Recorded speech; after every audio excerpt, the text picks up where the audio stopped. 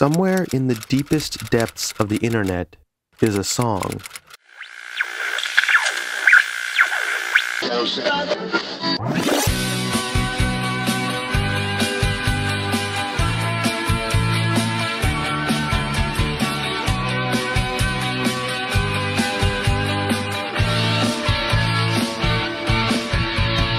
It's a song that on first listen sounds like an 80s hit you're sure you've heard before.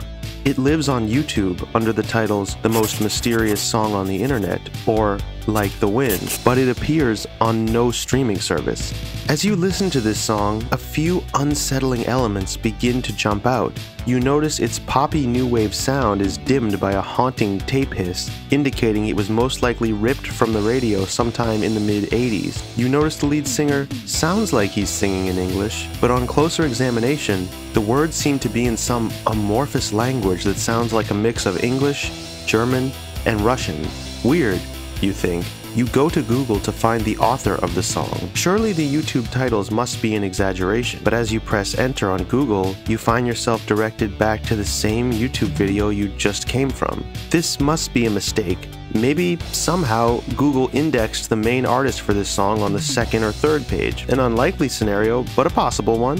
You search again, Nothing. Only a link that leads you back to the original video that started all of this. You sit back. What the hell is going on here? Is this a standalone complex? Is there no point of origin for this song? Is this song even called Like the Wind? Is this guy even singing the words Like the Wind? Nothing appears out of nowhere, and this song came from somewhere. So you get to work finding the origin of Like the Wind, but as you discover, the mystery goes far deeper than you could have imagined. The mystery of Like the Wind begins in West Germany sometime in 1984. An avid radio taper, known only as, quote, Darius S., is up on a nondescript evening recording to cassette a broadcast from West German public radio station Norddeutscher Rundfunk, or Northern German Radio. As Darius S. finishes up for the night, he pulls out a cassette labeling card and begins to write down the bands featured on that night's broadcast. Among those included were Depeche Mode, Simple Minds, Corey Hart, Ray Parker Jr., and Golden Earring, among a few other classic 80s bands. But when it came time to label track 8, Darius S. was perplexed. He realized after listening back a few times, he had never heard this song before and was clueless as to who had recorded it.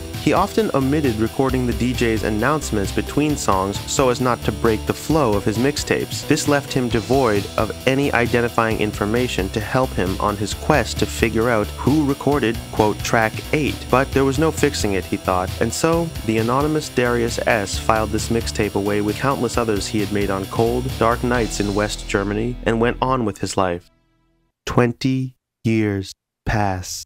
In 2004, an adult Darius S. was going through his old mixtapes, reminiscing about the nights he spent with his tape deck excitedly recording new music off of the NDR radio station, when suddenly he noticed something. An old tape from 1984 with a list of bands and songs Depeche Mode, Simple Minds, Golden Earring, and there it was again. That mysterious song that Darius had only labeled, quote, Blind the Wind, with no artist attribution. He sat there, puzzled. But this is 2004, he thought. Surely a quick Google search will yield the artist behind Blind the Wind. So he fired up a then only six year old Google.com and nothing. No song by the name, quote, Blind the Wind was returned from the search results. How odd, he thought. This song sounds like a mainstream hit from 1984. It can't be that hard to find. But alas, like 20 years earlier, Darius S. put it aside in his mind and went back to his life. Three years pass. In 2007, the mysterious song, still titled on the tape liner notes as, quote, Blind the Wind, caught Darius S. attention yet again. This time, he went to his more tech savvy sister, who shall be known as Lydia H., and asked her if she could use the internet to find out who was behind Blind the Wind. Lydia, assuming this would not be that big of a deal, decided to post the song to a series of Usenet sites in 2007. I will get my brother an answer in no time, she thought but not one person could definitively confirm the name or artist related to this song. How? thought Lydia. How could a song played on a national radio station in Germany seem not to exist? Lydia spent a bit more time on some forums for German pop music and 80s bands in general, but yet no one seemed to know the answer. Twelve years pass. In 2019, a young Brazilian man named Gabriel da Silva Vieira lay awake tormented by one thought that had haunted him since 2017. What was that mysterious song from that West German radio station? Yes, you see, because of the power of the internet, Lydia's posts on a series of Usenet forums from 2007 had found their way into the hands of one Nicholas Zuniga, who worked for the Spanish independent label Dead Wax Records. Nicolas had informed his friend Gabriel of the existence of this song and its unknown origin. However, little did Nicolas know that this would send Gabriel on a years long quest to track down the author of Darius and Lydia's mystery song, now being called Like the Wind. Finally, in 2019, Gabriel decided to post the full song to YouTube and turn to Reddit for answers. It was Gabriel's post that set off the journey that the collective internet has been on for roughly four years now. Redditors, as they are apt to do, became excited and began to search out the farthest corners of the internet for answers. What is the true name of Like the Wind? Who recorded it? What night was it broadcasted? Does anyone have the tapes of that night? To document all of this, Gabriel created a specific subreddit r slash the mysterious song, where an open source musical archaeological dig has been ongoing since 2019. The most recent update, as of 2021, was that Lydia had found an even higher quality version of the song than before and uploaded it to YouTube. Various Redditors have remixed and mastered the song to try and get a cleaner sound. Some users have even suggested Lydia's original version of the song might have accidentally been slowed down due to tape degradation and have repitched it back up to its possibly correct key.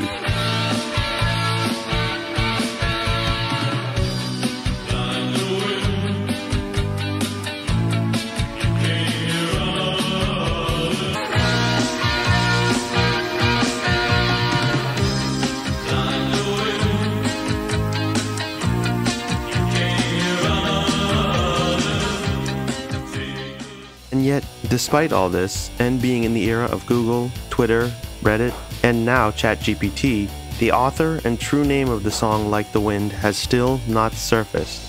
Now, here is where I would like to add my two cents to this discussion. First, we can clearly discount the theory that has been floated on 4chan and in a few Reddit posts that this is actually an Ariel Pink style savant whose home recording from 2007 is being passed off as a forgotten 80s band. Due to Darius and Lydia's hard proof from 1984, this is impossible. But what of those vocals? That to me is the most mysterious part of the song. As the music kicks in, you think you're hearing English, but on closer listen, the language appears to be some mishmash of English, German, and Russian, as was stated earlier. Now, this is 1984. Not all, but quite a few West Germans were fluent in English at this point. Did they have accents? Sure. But the voice we are hearing on Like the Wind, if it is attempting to sing in English, most definitely has a thicker and more pronounced accent than your typical West German which leads me to believe this band must have come from somewhere behind the Iron Curtain. Remember what era this is. Gorbachev was head of the Soviet Union,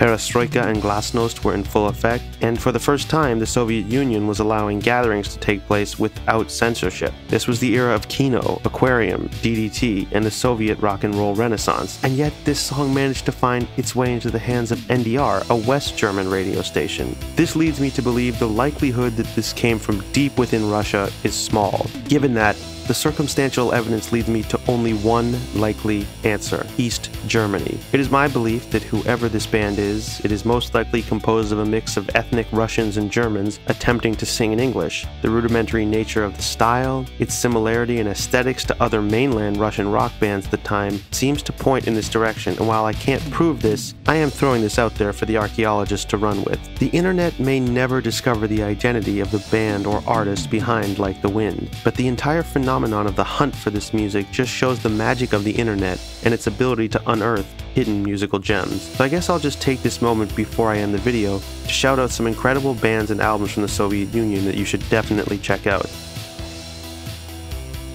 And if the most mysterious song on the internet's origin is never discovered, that's okay, because as they say, like the wind,